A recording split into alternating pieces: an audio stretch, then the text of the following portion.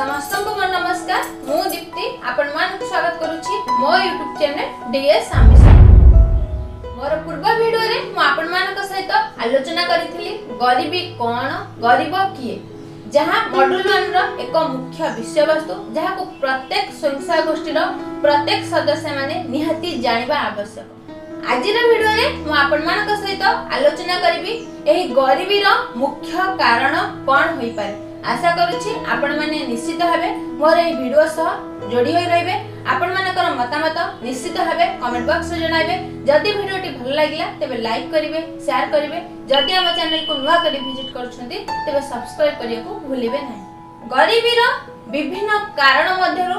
মুখ্য কারণ একতার অভাব হয়ে পড়ে ଆମେ ସମସ୍ତେ ଜାଣିଛନ୍ତି ଏକତା ହିଁ ବଳ କିନ୍ତୁ ଗୋଟେ ଗରିବ ଲୋକ ପାଖରେ ଏହି ଏକତା ନଥାଏ ଯେହେତୁ ଏକତା ନଥାଏ ତା ପାଖରେ କଥା କହିବାକୁ ଶକ୍ତି ନଥାଏ ତା ପାଖ ଉପରେ ଅନ୍ୟାୟ ହେଲେ ତାହାକୁ ପ୍ରତିରୋଧ କରିବାକୁ ମଧ୍ୟ ତା ପାଖରେ କୌଣସି ଆବାଜ ନଥାଏ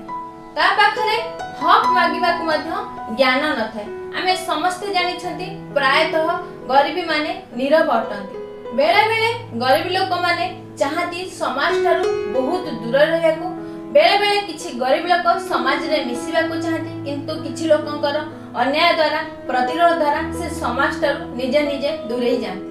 ସେମାନେ ଭାବନ୍ତି ତାଙ୍କ ଘର ତାଙ୍କ କର୍ମକ୍ଷେତ୍ର ହିଁ ତାଙ୍କ ସମାଜ ସେ କେତେବେଳେ ବି ସମାଜ ସହିତ ମିଶିବାକୁ ଚାହାନ୍ତି ନାହିଁ ସମାଜ କାହା ପାଇଁ ଏ ସରକାର କାହା ପାଇଁ ସେମାନେ କେବେ ହେଲେ ଭାବନ୍ତି ନାହିଁ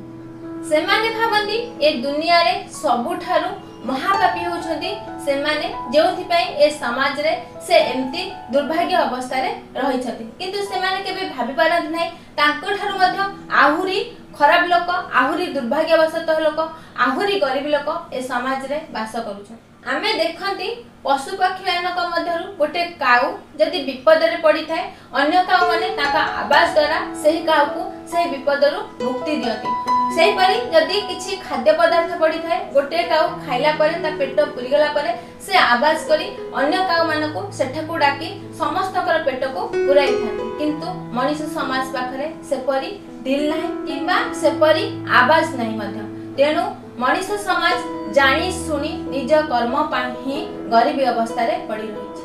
ଦ୍ୱିତୀୟ କାରଣ ହେଉଛି ଜ୍ଞାନ କୌଶଳର ଅଭାବ ଆମେ ଜାଣିଛନ୍ତି ପ୍ରତ୍ୟେକ ମଣିଷ ପାଖରେ ଆମର ଯେଉଁ ଚଉଷଠି କଳା ରହିଛି ନିଶ୍ଚିତ ଭାବେ କୋଉ କଳା সেই ମଣିଷ ସମାଜ ପାଖରେ ବା ସେଇ ମଣିଷ ପାଖରେ ନିହାତି ରହିଥିବ କଳା କହିଲେ ସେ ହୁଏତ ଭଲ ଗୀତ ବୋଲି ପାରୁଥିବ କିମ୍ବା ଭଲ କବିତା ଲେଖିପାରୁଥିବ କି ସିଲେଇ କରିପାରୁଥିବ କି ଚାଷ କରିପାରୁଥିବ ନିଶ୍ଚିତ ଭାବେ ତା ପାଖରେ କୌଣସି ନା କୌଣସି କଳା ଥିବ କିନ୍ତୁ ସେ କଳାକୁ ସେ ଚିହ୍ନି ପାରେ ନାହିଁ କିମ୍ବା ଯଦି ବି ସେ କଳାକୁ ଚିହ୍ନୁଛି ସେ ହିସାବରେ ସେ କୌଶଳ ହାସଲ କରିପାରେ ନାହିଁ ଯେଉଁଥିପାଇଁ ସେ ଗରିବୀ ଅବସ୍ଥାରେ ପଡ଼ି ରହିଥାଏ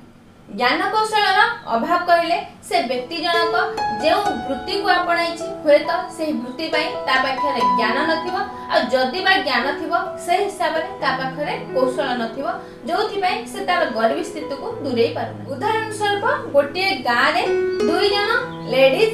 ସିଲେଇ ମେସିନ୍ ଶିଖନ୍ତି କିନ୍ତୁ ଗୋଟିଏ ଲେଡିଜ୍ ପାଖରେ ପ୍ରବଳ ଲୋକଙ୍କର ଭିଡ଼ ଥାଏ ସେ ପ୍ରବଳ ଇନକମ୍ କରେ କିନ୍ତୁ ଆଉ ଗୋଟିଏ ଲେଡିଜ୍ ସେହି ସିଲେଇ ମେସିନକୁ ଆପଣାଇଛି କିନ୍ତୁ ତା ପାଖରେ କୌଣସି ଭିଡ଼ ନାହିଁ କିମ୍ବା ସେ ତାର ସେତିକି ଇନକମ୍ କରିପାରୁନାହିଁ ଯୋଉଥିପାଇଁ ତାର ଗରିବ ସ୍ଥିତିକୁ ଦୂରେଇ ପାରିବେ ତାହେଲେ ଭାବନ୍ତୁ ସେଇ ଦୁଇ ଜଣ ଲେଡିଜଙ୍କ ମଧ୍ୟରେ ପାର୍ଥକ୍ୟ କ'ଣ ହୋଇପାରେ ଯେଉଁ ପ୍ରଥମ ଲେଡିଜ ପାଖରେ ପ୍ରବଳ ଭିଡ଼ ହେଉଛି ସେ ପ୍ରବଳ ଇନକମ୍ କରୁଛି ନିଶ୍ଚିତ ଭାବରେ সেই লেডিজ পাখে সিলাই করিবার জ্ঞান সহিত বিভিন্ন প্রকারর আধুনিক যুগরে কিপরি তার কৌশল রয়েছে কিপরি লোক মানুষ আদৃত করিপার সেইভাবে সে সিলাই করুছি কিন্তু যে দ্বিতীয় জন ব্যক্তি রয়েছেন তাঁর পাখে জ্ঞান অছি সত কিন্তু সেই হিসাবে কৌশল না যাহাকে নেইকি সে অধিক সিলাই করে লোক মানুষ তাঁর আড়ক আকৃষ্ট করিপারে তো নিশ্চিত ভাবে আমি যে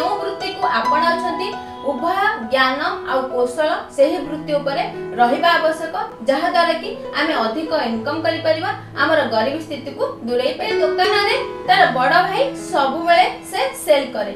ତ ଦିନେ କ'ଣ ହେଲା କୌଣସି କାରଣରୁ ସେ ତୀର୍ଥଯାତ୍ରା ବୁଲିବାକୁ ଗଲା ତ ସେହି ସମୟରେ ତାର ସାନ ଭାଇକୁ ସେହି ଦୋକାନରେ ବସେଇକି ଗଲା ତ ଯେତେବେଳେ ବଡ଼ ଭାଇ ତୀର୍ଥ ଛାଡ଼ି ଫେରିଲା ଦେଖିଲା ବେଳକୁ ତାର ସାନ ଭାଇ ସବୁ ପାଉଡର ଡିବାକୁ ସେଲ୍ କରିଦେଇଛି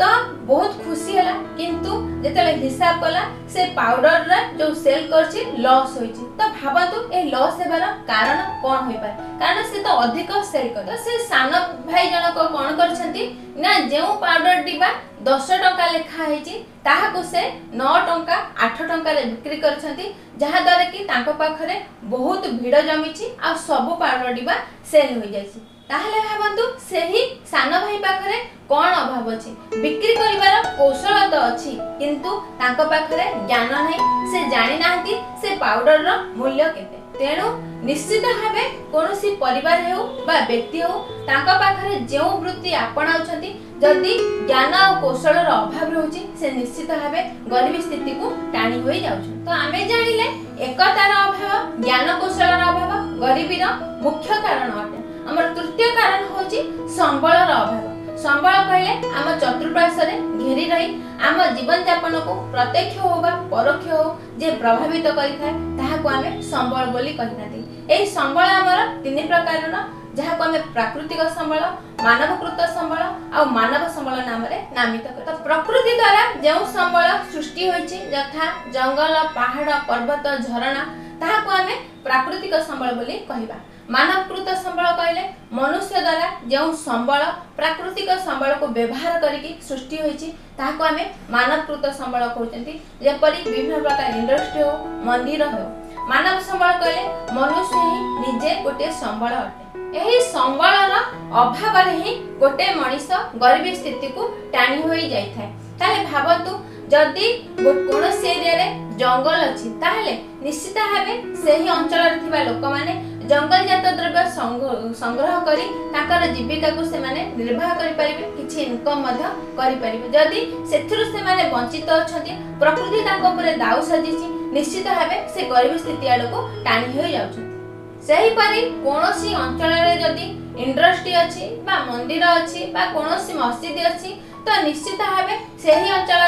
ଯେଉଁ ଲୋକ ବାସ କରୁଛନ୍ତି ସେଇ ମନ୍ଦିର ହଉ ବା ଇଣ୍ଡଷ୍ଟ୍ରି ହଉ ସେମାନେ କାମ କରିପାରିବେ ଦୋକାନ ବସେଇ ପାରିବେ ସେ ଇଣ୍ଡଷ୍ଟ୍ରିରେ ସେମାନେ କାମ କରିକିନି ତାଙ୍କର ପରିବାରକୁ ପ୍ରତିପୋଷଣ କରିପାରିବେ ଯଦି ସେଥିରୁ ବି ବଞ୍ଚିତ ଅଛନ୍ତି ତାହେଲେ ସେମାନେ ଦାଦନ ଖଟିବାକୁ ଅନ୍ୟ ଅଞ୍ଚଳକୁ ଯାଉଛନ୍ତି କିମ୍ବା ଭିକ ମାଗୁଛନ୍ତି ତାହେଲେ ନିଶ୍ଚିତ ଭାବେ ଏହା ମଧ୍ୟ ଆମର ଗରିବୀର ମୁଖ୍ୟ କାରଣ ହୋଇପାରେ ତାପରେ ଆସୁଛି ସର୍ବ ଉପରେ ମାନବ ସମ୍ବଳ ଯଦି ଆମ ପାଖରେ ଜଙ୍ଗଲ ଅଛି ପାହାଡ଼ ଅଛି ପର୍ବତ ଅଛି ବା ଇଣ୍ଡଷ୍ଟ୍ରି ଅଛି କିନ୍ତୁ ଆମ ପାଖରେ ସେଭଳି ବ୍ୟକ୍ତି ନାହାନ୍ତି ଯିଏ ସେଇ ଜାଗାରେ କାମ କରିକି ଆମ ପରିବାରକୁ ପ୍ରତିପୋଷଣ କରିପାରିବେ ତାହେଲେ ଭାବନ୍ତୁ ସେ ସମ୍ବଳ ଥାଇ ମଧ୍ୟ ଆମେ ଗରିବ ଆଡ଼କୁ ମାଡ଼ିଯିବା ବା ଆମ ପାଖରେ ଗରିବୀ ସ୍ଥିତି ଦେଖାଦେବ তা এই গরিবিৰ মুখ্য কাৰণৰ মধ্যেৰ सरकारी বেৰকাৰী সুবিধাৰু বঞ্চিত থিবা লোক।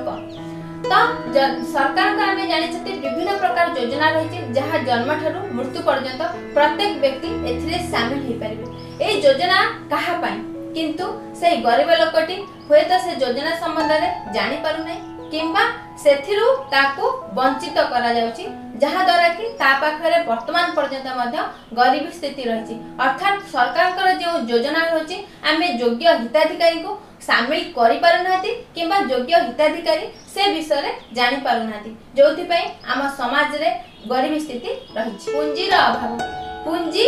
বা অর্থ ଆମେ ଜାଣିଛନ୍ତି ଅର୍ଥ ହିଁ ଅନର୍ଥର କାରଣ ଯଦି ଆମ ପାଖରେ ଅର୍ଥ ନାହିଁ ଯେତେ ଜ୍ଞାନ କୌଶଳ ଥାଉ ଯେତେ ସମ୍ବଳ ଥାଉ ଆମେ କେବେ ହେଲେ କାର୍ଯ୍ୟ କରିପାରିବା ନାହିଁ ମନେ କରାଯାଉ ଗୋଟେ ବ୍ୟକ୍ତି ଭଲ ଚାଷ ଜାଣିଛି କିନ୍ତୁ ଚାଷ କରିବା ପାଇଁ ତା ପାଖରେ ଜମି ନାହିଁ କିମ୍ବା ସାର କିଣିବା ପାଇଁ ତା ପାଖରେ ପଇସା ନାହିଁ ହଳ କରିବା ପାଇଁ ତା ପାଖରେ ବଳଦ କିମ୍ବା ଟ୍ରାକ୍ଟର ନାହିଁ ତା ପାଖରେ ସେ ଜ୍ଞାନ ଖାଇ ମଧ୍ୟ ସେ ଗରିବ ଅବସ୍ଥାରେ ପଡି ରହେ ଏ ଅବସ୍ଥାରେ ଗରିବୀ ଲୋକଟି ଇଚ୍ଛା କଲେ ମଧ୍ୟ ସେ ତାର ଗରିବ ସ୍ଥିତିରୁ ବାହାରକୁ ଯାଇପାରିବ ନାହିଁ ତାହେଲେ ଆମେ ଜାଣିଲେ ଗରିବୀର ମୁଖ୍ୟ କାରଣ ରହୁଛି ପାଞ୍ଚଟି କାରଣ ଯାହା ହେଉଛି ଏକତାର ଅଭାବ ଜ୍ଞାନକୌଶଳର ଅଭାବ ସମ୍ବଳର ଅଭାବ ସରକାରୀ ବା ବେସରକାରୀ ସୁବିଧା ସୁଯୋଗରୁ ବଞ୍ଚିତ ବା ପୁଞ୍ଜିର ଅଭାବ ଯଦି ଆମେ କୌଣସି ବ୍ୟକ୍ତିକୁ ପଚାରିବ ନିଶ୍ଚିତ ଭାବେ ଏହି ପାଞ୍ଚଟି କାରଣ ମଧ୍ୟରୁ ଯେକୌଣସି ଗୋଟିଏ କାରଣ କିମ୍ବା ଦୁଇଟି କାରଣ କିମ୍ବା ଏହି ପାଞ୍ଚଟି କାରଣ ସେହି ପରିବାର ବା ସେହି ବ୍ୟକ୍ତି ପାଖରେ ନିହାତି ରହେ ତାହେଲେ ଆପଣମାନଙ୍କୁ ଆଜିର ଏହି ଭିଡ଼ିଓଟି কেমতি লাগিলা নিশ্চিত ভাবে আপন মানকর সুচিন্তিত মতামত কমেন্ট বক্সে জনাইবে আপন শেষ যায় মোর এই ভিডিওকে দেখুথিবারু আপন মানকু মো তরফରୁ ଆମ ଚ୍ୟାନେଲ ତରଫରୁ ବହୁତ ବହୁତ ଧନ୍ୟବାଦ